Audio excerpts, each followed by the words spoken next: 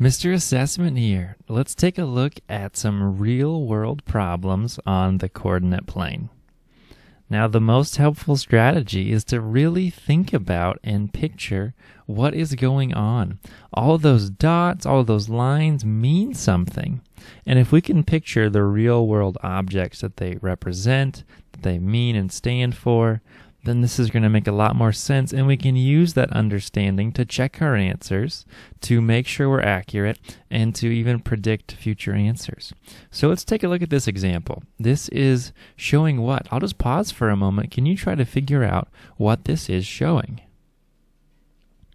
This is showing how four students spent their recess time and they have a 10 minute recess. So let's think about that for a moment. If their recess is 10 minutes long, should um, should it be possible for anyone to have spent more than 10 minutes total on that recess?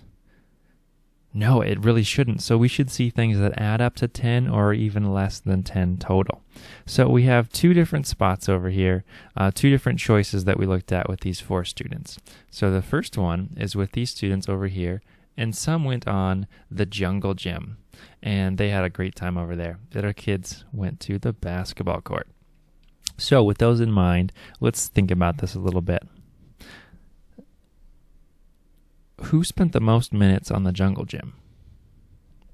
Well, this x-axis, the ver- sorry, the y-axis, the vertical axis here is the one that's going to show us the jungle gym minutes, while the x-axis is showing us what?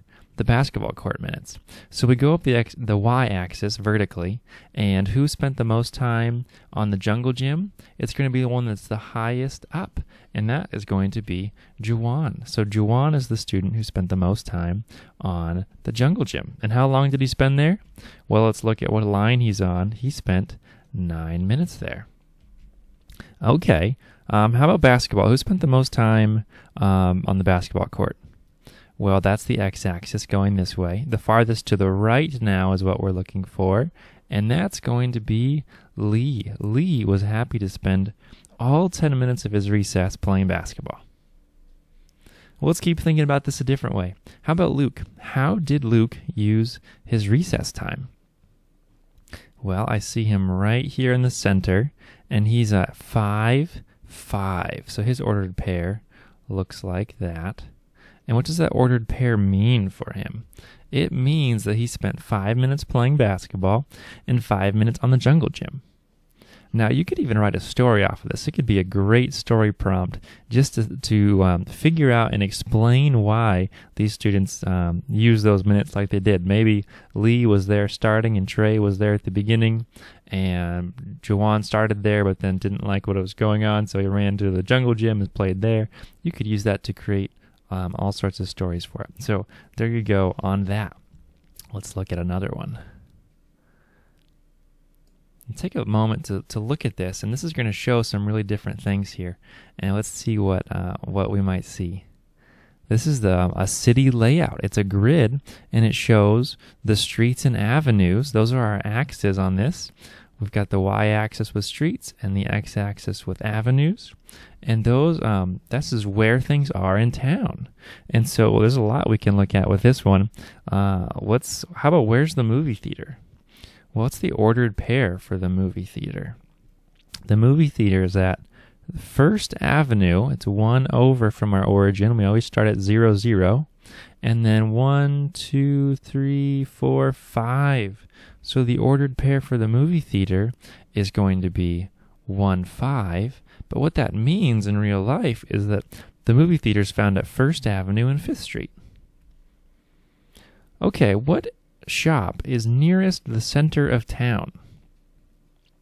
Well, the middle of town's going to be somewhere about 5 5, I would say. And so 5 5, right in here. What's nearest the center of town? Well, it's the tire shop. There it is. Well, what's nearest the border of town or the outside of town? Well, the border would be the very edge, and so I've got a few options here. I see that the gas station is going to be only one block from the edge of town. Looks like the movie theater's one block. The grocery store is three blocks from the edge of town, so it's not going to be that one. So it's going to be the movie theater and the gas station. How about this one? Are there any stores that are on the same street or avenue? Do any of them share the same street or avenue? We could look at the movie theater, and it goes all the way across. It's the only one there. The tire shop's alone on Fifth Avenue and Fourth Street. As I look over here, I see something. Looks like the gas station and the grocery store are on the same street right there. They're on 7th Avenue. Okay, here's another little story for you. Let's say you're at the tire shop. Why? Because your car needs a new tire. So you broke down. That means you're not driving anywhere right now. You're going to be walking. Well, where could you walk and how long would it take to get there? So let's say you're at the tire shop right here and you want to get to the grocery store to buy your favorite snack. So, how long or how many blocks would it take to get there? How far do you have to go? Well, it's a city street, and we're going to say there are buildings and houses all over the place, so you can't just go the short way right there. We actually have to use the streets. Well, you could go up here. How far did you go to get there? You went one, two, three, four, because you went two there and you went two there, and that's going to be four blocks total that way. Well, is there a shorter way? Let's see. What if you went over first? One, two, three, four. You've got two here, two there. That's another four. Well, you just made a cool square right there. That could be the same way, uh, the same length to get there. And now let's try even one more. What if you went over, up, over, up? One, two, three, four. Well, that's going to be four there as well. So um, that's you've got a bunch of different ways that you could get there that are four, and four is going to be the shortest way that we could get there. Could you figure out a longer way? Yeah, you sure could. You could go any direction that you want and just go around, and you could think of lots of long ways. But if I was to ask the shortest way to get there, you would have four blocks to go. So that's a great review. You're ready for the questions that follow this. And um, that is how a few different ways that you can look at and understand a coordinate plane with some real world problems.